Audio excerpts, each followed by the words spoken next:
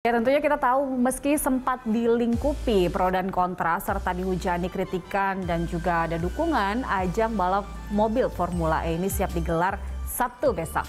Berikut kita lihat laporan dari Said Masyur dan juru kamera Rangga Samudra yang mengulas perhelatan Formula E ini.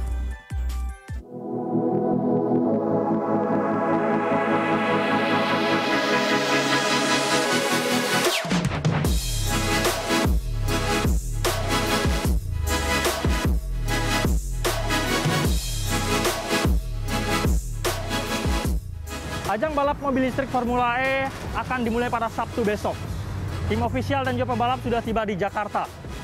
Namun perjalanan panjang menuju perhelatan Formula E ini tentu tidak terlepas dari kritik dari sejumlah pihak.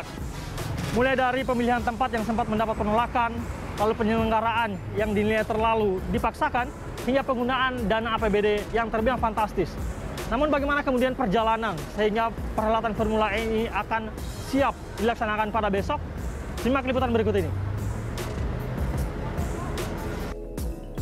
Sabtu esok, Ibu Kota Jakarta akan menjadi saksi proses adu cepat para atlet mobil listrik pada gelaran Formula E di Jakarta International E-Prix Circuit yang berada di kawasan Ancol, Jakarta Utara. Meski sejak awal gelaran ini menuai banyak kritik, namun penyelenggara tetap optimis dapat mencatatkan sejarah bagi dunia otomotif di Indonesia.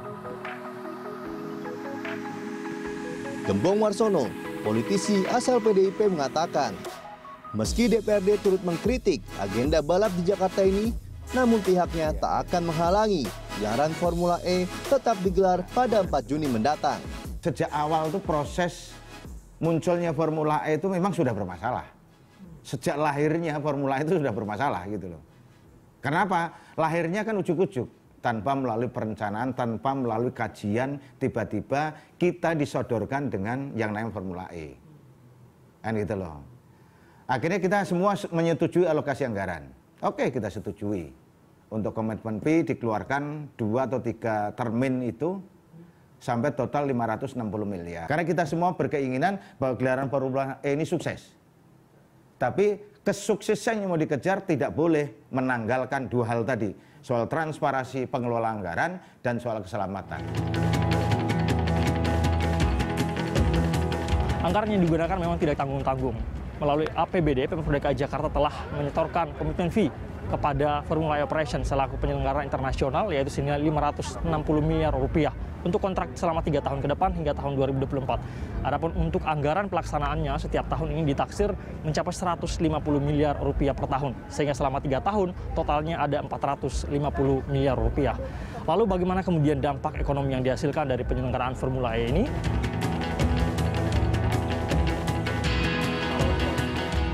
Rincian potensi keuntungan ekonomi Formula E yang akan dilaksanakan pada 2022 hingga 2024 dipaparkan dalam proposal penyertaan modal daerah PT Jakarta Propertindo tahun anggaran 2020 yang diserahkan kepada Pemprov DKI Jakarta pada bulan September 2019.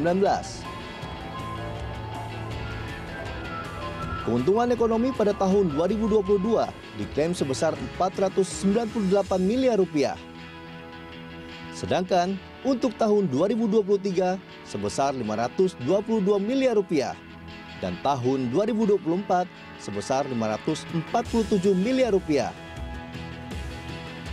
Sementara pendapatan finansial Jakpro dari Formula E untuk tahun 2022 sebesar 99 miliar rupiah. Tahun 2023 sebesar 146 rupiah dan tahun 2024 sebesar 164 miliar rupiah. Pendapatan tersebut berupa penjualan tiket, hospitality, dan sponsorship. Selain Anggara, proses pembangunan sirkuit Formula E juga diklaim sebagai pembangunan sirkuit tercepat di dunia. Pembangunan sirkuit tercepat di dunia ini mendapatkan sorotan ketika atap tribun sirkuit roboh pada Jumat 27 Mei 2022 yang lalu. Panitia mengklaim pihaknya akan segera memperbaiki dan menyempurnakan segala kekurangan yang ada pada sirkuit.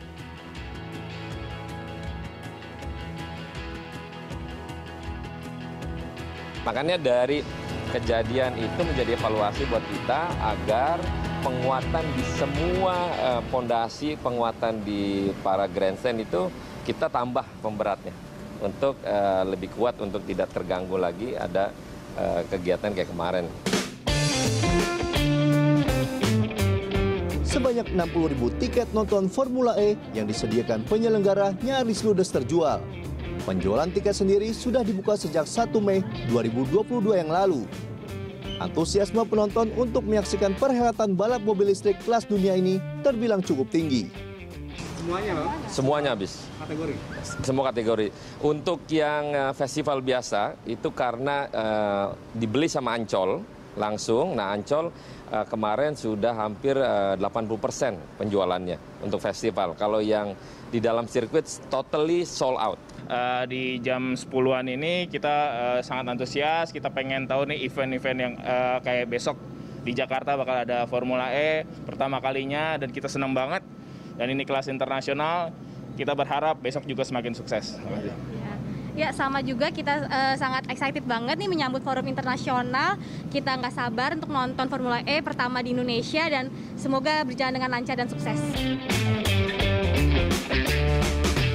Data yang terakhir kami terima sejak penjualan tiket dibuka pada 1 Mei 2022 kemarin, ini rata-rata telah terjual penuh.